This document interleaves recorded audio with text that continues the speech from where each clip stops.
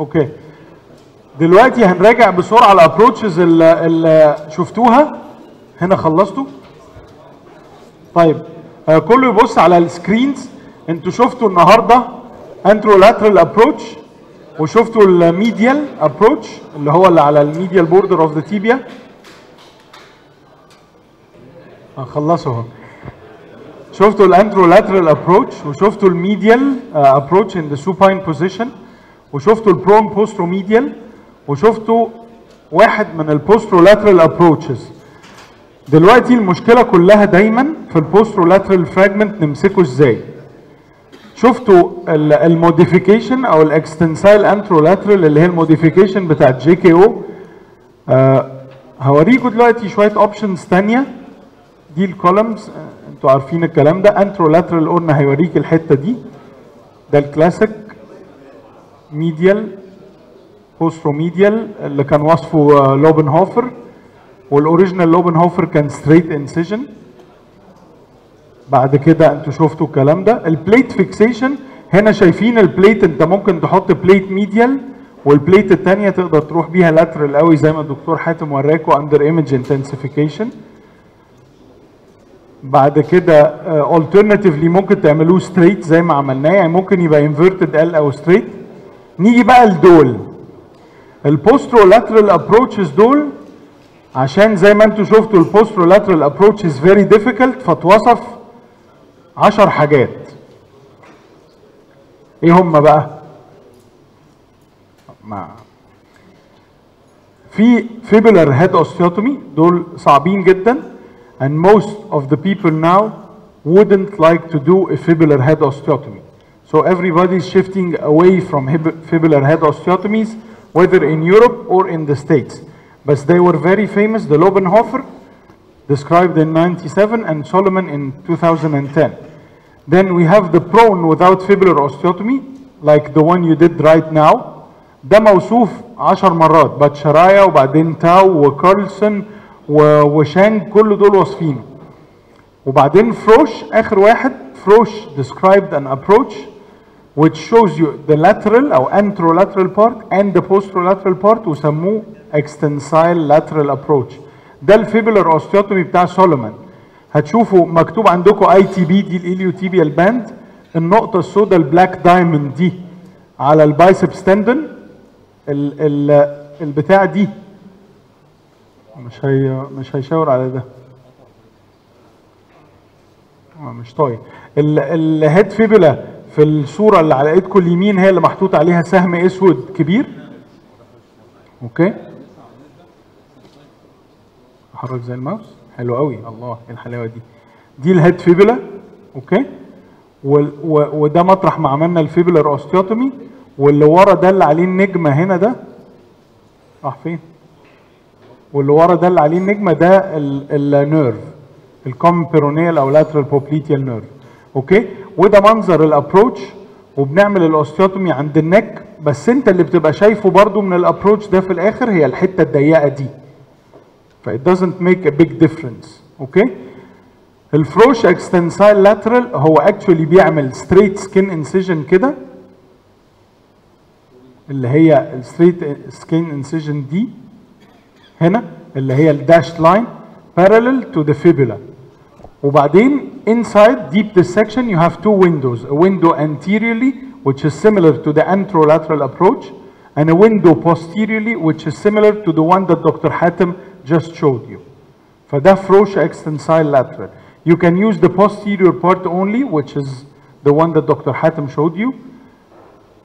And here again, the same what he showed you. Here you have, you have the vessel, you have to ligate this one and you have only about five centimeters for the plate.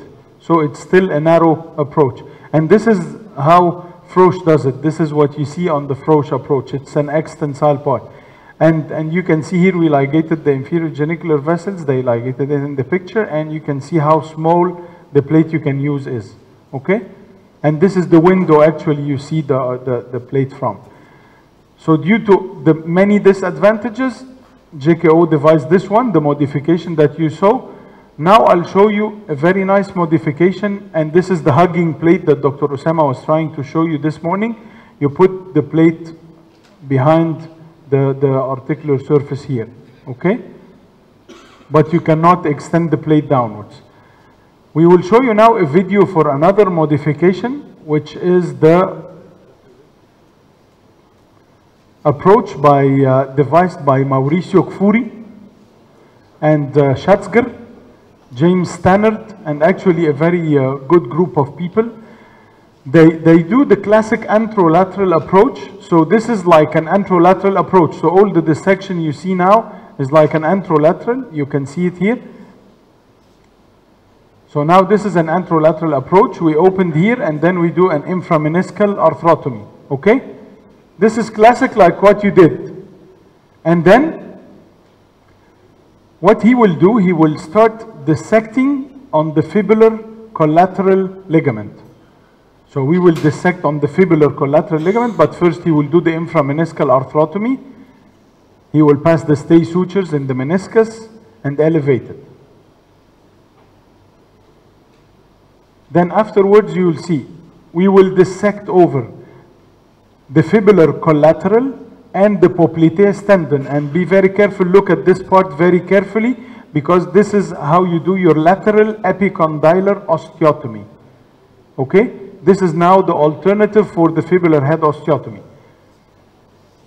Inframeniscal arthrotomy, and this is the part you see from an inframeniscal arthrotomy, the part marked here on the, on the picture.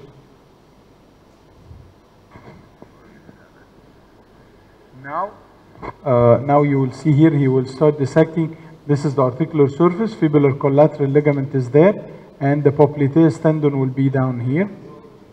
So now he's dissecting the fibular collateral. And then he will dissect the popliteus tendon. Okay? And then you mark your osteotomy around the fibular collateral and the popliteus tendon. This is a very nice approach. And it's, a, it's an alternative to the fibular head osteotomy. But again, I will show you the problem with this approach. Now we elevated the fibular collateral ligament together with the lateral epicondyle, and then we have to fix it at the end. The problem is that you see the articular surface very well once you elevate the meniscus and, and you dissect between the meniscus and the fibular collateral and popliteus. But the problem is that still the plate position is a problem.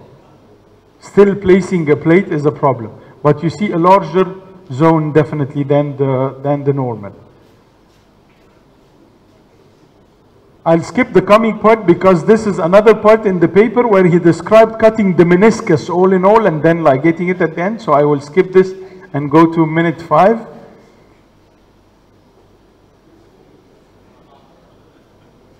Ayo.